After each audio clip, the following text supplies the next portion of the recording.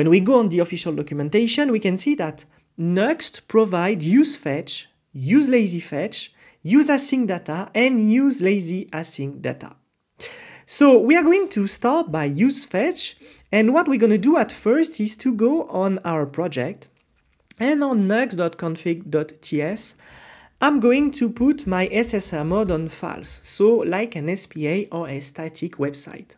Alright, so now I'm back and now my application is not uh, declared as a server-side rendering mode for now. So by default, Nuxt3 is on SSR, but we just remove this SSR mode.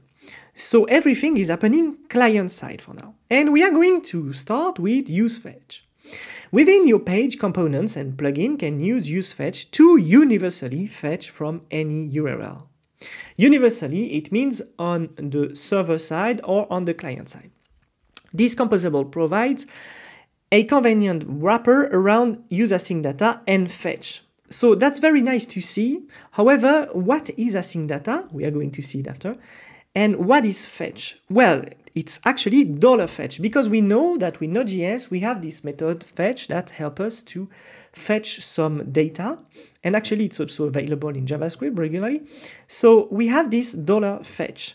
And if we go on the API side documentation of Nuxt, we can see that the definition of useFetch is these composables provide a convenient wrapper, exactly what we read, around async data and fetch, dollar $fetch.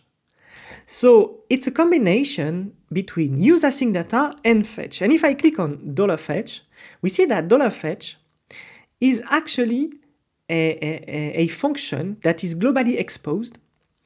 And that function comes from a, a library called ofetch. And when I click on ofetch, I arrive on a repository. And it's called a better fetch API, works on Node, browsers, and workers. So this fetch here is available on three sides, Node, browser, and workers. And it comes from, of course, UnJS, the unified JavaScript tools that we talked about before. So use fetch automatically generate a key based on URL and fetch options, provide type hints for request URL based on server routes and infer API response type. And down there, we've got an example. So we see that at first, our useFetch method can be destructured and it can be destructured in different uh, types and we can look at this type down there. We've got data, which maybe will be the response, and of course it will be the response, but we got also pending, and pending can be a loading state that will be very useful. We got also refresh, which means that actually later we will get a function called refresh that when we click on it will refresh the call and the data. We've got execute and we got also error to uh, actually display the error. And as options in our fetch, we've got a lot of other elements, but we are going to come back at it just after. What I need to do for myself is just to fetch from an API and actually which is cool with Nuxt is that we can create a server side so what we got here is a server folder and inside I got a products a products route which is available at localhost slash API slash products. And I got this JSON. And you understood now that this route products will distribute my JSON array. So back in my products.ts, what I can do is just to import my data and when I call this endpoint, it will return to me the data from my JSON. So I'm going to get back, I'm going to update, and there what I'm going to do, I'm going to go on localhost slash API slash products, and there we go. We've got our data there. So the thing is that now on my index, what I want to do is to just fetch this endpoint. So what I'm going to do is simply to put const data and like it would be a response. Actually, I'm destructuring here my response I'm going to type use fetch and here it's going to be API slash products.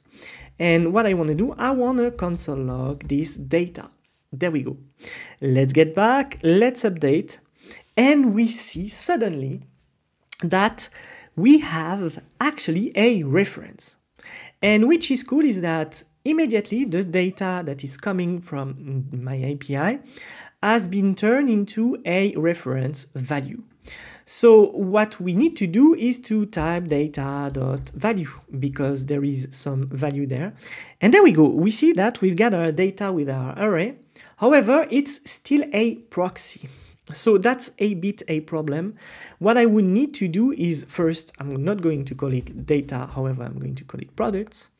And what I would need to do is actually to transform toRaw if I want to access into my JavaScript to the data this products dot uh, value. There we go. I update and suddenly there we go. I got my 10 products available, which is amazing. That was for the JavaScript part. However, if I want to put it into my um, template, I would put products there and what's going to happen there? Amazing. What's happening is that we've got our uh, products displayed there. And here, the most interesting part of UseFetch it's that right now I got this data there. So I can put as an option here, I can put as an option a method called transform. With transform, I can say that I want to change the, the, the, the model that is returned to my view. I'm gonna do is to open an object just after my call here. And of course, later you may need to put some kind of headers or anything else. You can do it there.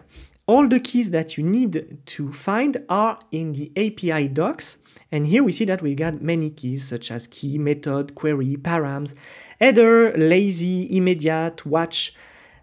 Anyway, what we want is to use transform and with transform, what I'm going to do is to access to my products. And here, what I want to return is actually products dot data because I got this data which give me the array and what I want to have immediately is just the array and not this data in front of it. So you see you can use transform to get it. Now, if I go to my nuxt.config.ts and I remove this SSR false and I pass to SSR true, so now I'm on server-side rendering, what happens is that nothing is happening. Because remember, useFetch can be used on SSR true or SSR false. So if you are doing client-side, it will work. If you are doing uh, server-side rendering, it will work also, and you won't see the difference at all. And what we want to do now, we want to use this loading uh, pending actually uh, that is available there, which is a boolean. So if I get back to the usefetch documentation, we see that I got this pending, which is a boolean. And what I would like to do is to display actually a loader while I'm waiting for an asynchronous call. So what we would like to use is another function which is called use lazy fetch. Because use fetch is freezing your application until the moment it receives the data and then it renders the data. With use lazy fetch, we want to display a loader, so display the, the, the, application immediately and display a loader instead.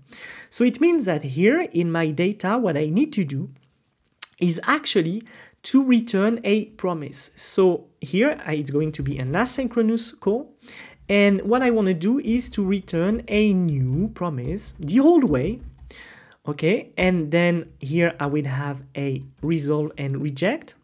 I'm just going to use resolve, I will not reject. And there I'm going to actually put a set timeout function and this set timeout function will answer after 2000, 2000 milliseconds. And what's going to happen is that I'm going to resolve. And what I'm going to resolve is my data. Okay, so I'm going to save this. And back in my application, what I'm going to do, I'm going to say, hey, if it is pending, I want to have loading. Otherwise, I want to have the products. All right, so we have a function which is called use lazy fetch, which is a use fetch, but that is not freezing our application. And on uh, the um, products um, endpoint, we have a promise. So we're going to wait for some time, actually 2000 milliseconds, so two seconds to render our app. So let's try. I'm going to update And what's happening is that we have a loading during 2000 milliseconds and we have then the uh, array that is displayed. Which is very cool because most of the time with this use lazy fetch, we would like to have some kind of skeleton waiting for the app. And it's working very well